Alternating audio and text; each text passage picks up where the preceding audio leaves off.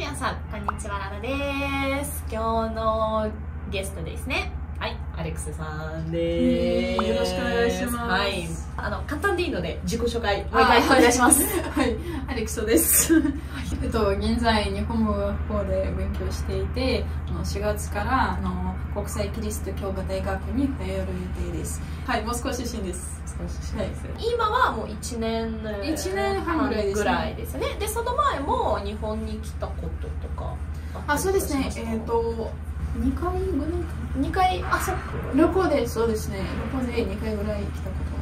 1回目は18歳の時、2回目は19歳の時かな。あ一人？そうですね。えー、うちのあのね私日本に来たのは21歳なんですけど完全にダメっていう親にもうあえ100%ー。反対されててしかも私はえー。海外に行ったことなかったから、ー。私の人生初の海外で、えでそのまま住んだそううちのお母さんとかもう絶対海外に一人行くのはもうありえないと思ってたのでだから自分なりにちょっとびっくりしてなんか18歳で一人海外旅行っていうのはね私はあの実はあの18歳からもう一人暮らしになったので、えっと、もう特にと問題とかなかったとああなるほどなるほど。えー、長かったんですか？旅行の期間なんか2週間とそんなかに、えっと1週間実はあのお正月。はい。正月？珍しい。逆に日本にいる外国人やっぱり正月にそうそうそういなくな逆にいなくなっちゃうイメージがあるしだから桜かえっと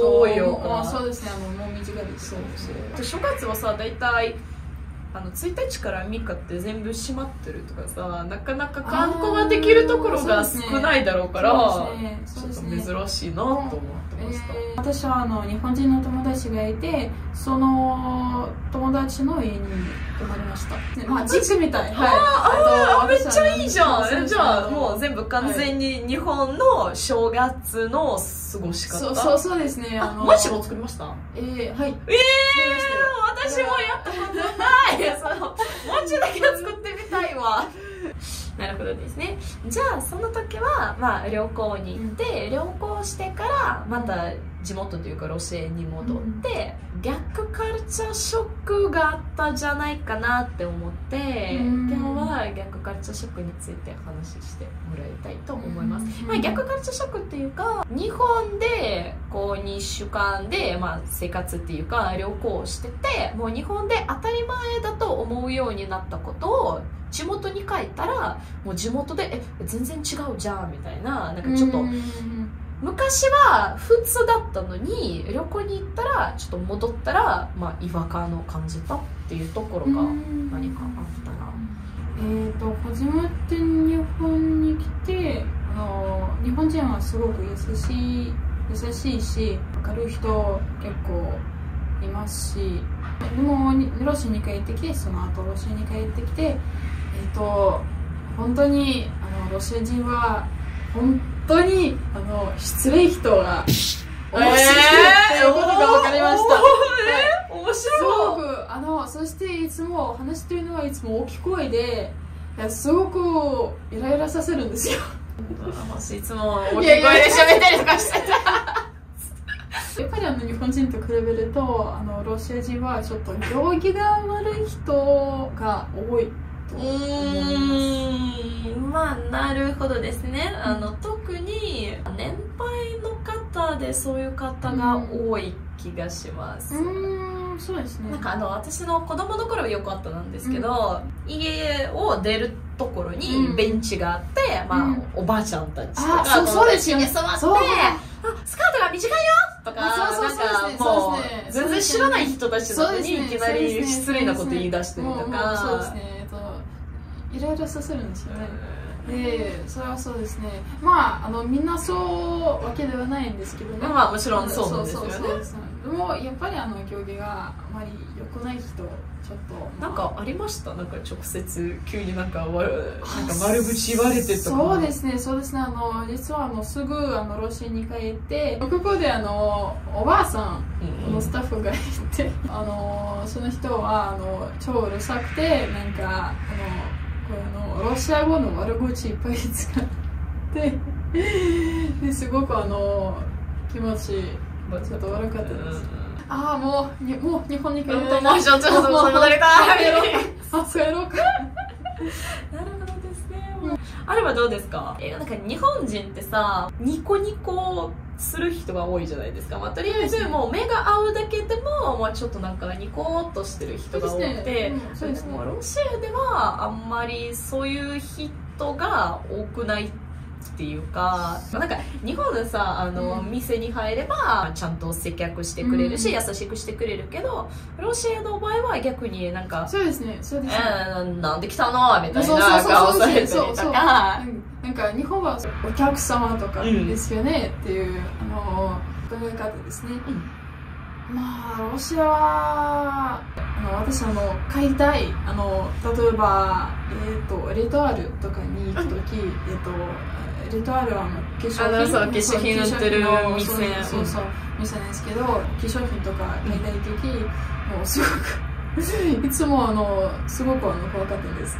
なんか悪口とか言われるとすごく落ち込むタイプなのでやっぱりちょっとあのこ困りました。たくさん困りましたよロシアは。私は一回はもう同じの店でうん。悪口言われたことがあってあの結構高い香水があってなんか高いから特別のところに入ってて、うん。もうテイスターが置いてないねで。これをちょっとテイスター欲しいですって言ったらえどうせ買わないでしょって言われたことありますそうですね。でそれもちょっとそうええ？とかって思ってそうそうありえないですよね。そうですよね。あとあの日本日本人のあのこれのニコニコ？あのニコニコするっていう言い方はスマイルとかですね、でそのあの本音？その本音はすごくいいと思いますよ。これあの問題とか起こさないようにあのうん一生懸命頑張っている人が多い、人っていうテーマでいろいろうん職がありましたよね。そうですね。じゃあそれ以外のところなんかびっくりしたことがありますまあそれはびっくりではないと思いますけど交通費？うん。すごくあのお金かかるんですよ日本は。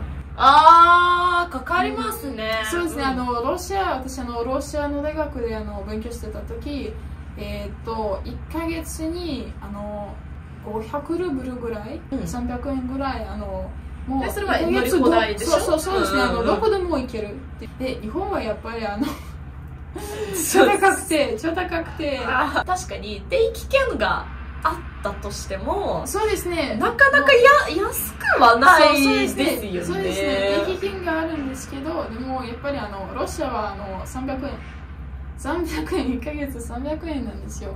だからやっぱりあのロシアの方が安い。まあロシアは全体的に物価が安いしまあ給料も安いっそうですねていうところもあるんですけどね。あとはなんか例えば遊びに関するものというかなんか自分で遊びに行った時に気づいたことなんかありあました？そうですね。日本はあのどこでもあのカラオケがあるんじゃないですか？ありますありますそうですねありますそうですね。あのもう本当にあのどこに行ってもあのカラオケ館とか。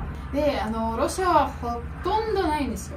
あとは日本のカラオケとロシアのカラオケは全然違いますよ。違うんですね。カラオケっていうよりかはまあ普通にレストランかカフェがあって、うん。でそこでステージがあってそうですね。そうですね。そうですね。歌いたい人がそれを申し込んでそのあの普通のカラオケの前で歌う。そうですね普通のカラオケのイメージのイメージと全然違います。そうそう。はい。であの日本はカラオケボックスなんですよ。うん。そう。で一人がどれだけ歌えなくても歌っても大丈夫。大丈夫大丈夫。誰も聞こえない。そうですねそうですね。あ安心。安心本当に。ロシアのカラオケに行くと本当に人前人前に出ないといけないことになるねそうですねだからあのちょっとあのすごく私いつも緊張しぎて。一番なんかいつもこの歌なら必ずもう毎回歌いますみたいなやつある？うんそうですねあの生き物係のあのブルーバード。ああはい。いああなるほどね。日本人の男性とロシア人の男性の、まあ、違いっていうかそういった時に、まあ、あの気づいたあこととか気づいねた違いとかなんかあったらちょっと知りたいなと思います、そうですね。日本人はあの花とかあのプレゼントとかあまりあげないんですよね。あげないまあげないそうそうそうですよねはいまあ頼んだらこれ欲しいよってって言えば。そうそう伝えばまあでもさただ「いやなんか最近ちょっと花お部屋にあったらいいな」って言っても伝わらないからねそうそうそうそうだからこれ欲しいっつってはいねもともとで日本人の方と付き合ったことってありますか？まあまあそうだねこれはにもう日本に来て、えー。日本で付き合ってたとそうですねあの ロシアでもロシアロシアでも日本でも。えロシアってえちょっとロシアロロシアでどうやって日本人とえー出会えるっていうか、そうですね。あの実はえっ、と日本語会話クラブなんですけどね。すごく日本人がいっぱいいるからすごく勉強になるし、まあ、日本語があのちょっとどんどん上手になると思いますよ、うん、だからそのそのその場所であのそこで習いましたそうそう。いやじゃなくて。まあ実はあの2回しか行ったことないから。私あのこれあのその会話クラブに行くとすぐあの彼氏ができるから。あーあーそれではもう行かなくても大丈夫っていう結果が出てきます。なるほど。ああとはなんか何回もプレッシン彼氏ができるとなんかちょっと面倒くさいあのあなるほどね。まあまああの彼氏を作って付き合ってまあダメになったらもう一回あの会話クラブに行って。まあそれはそうなんですけど、まあ、実はあの彼氏を作るっていう目的じゃなかったんです。うん。まあじゃなかったんですよ。じゃなかったけどもううんそう。2回で終わりました。そうそうそうもうもうもうしょうがないんですよ。しょうがない。日本人のいいところですね。えっ、ー、と外見？外見私あの えっと実はえっ、とひろゆきサナダっていうあの俳優知ってますか？真田ひろゆき。えっと結構あのもうおじいさんなんですけど っていうわけありませんがでももうおじいさんなんですけど、えっと今61歳ぐらいかな？でもすごくかっこよくて すごくあのかっこよくてすごくタイプなんですよ。日本人の外見すごく好きです。うんうん。うん。かっこよくないですか？この写真がいいね。うんすごく。うん。うんうん。はい。はい。納得。はい。責任感を持つ人が多いと思います。本当にそれは本当に良かったです。うん。ロシア人と比べるとやっぱりあの日本人はすごく責任まあ感そうですね。ロシア人と付き合うと、まあ、この人との将来は大丈夫かいっていうそうですよね。結構思いがちそうですそうでですねそう日本人の方になると確かになんかなんとなく、うん。まあ別にもちろん例えばまだそこまでの真面目が考えなくても、うん。なんとなくまあでもこまあの人だったら、まあそうなんか全部、うん。全部任せても、まあそうまくいくでしょうみたいなそうそうそうですね。感じで安心感が出るそうですね。そうですね。そうですね。確かに。じゃあ今日の動画はこんな感じでした。はい。で、今日動画を見てくれてありがとうございます。いいねと思ったら高評価ボタンとチャンネル登録の方お願いします。じゃあ最後まで見てくれてありがとうございます。はい。バイバイじゃあありがとうござい。ます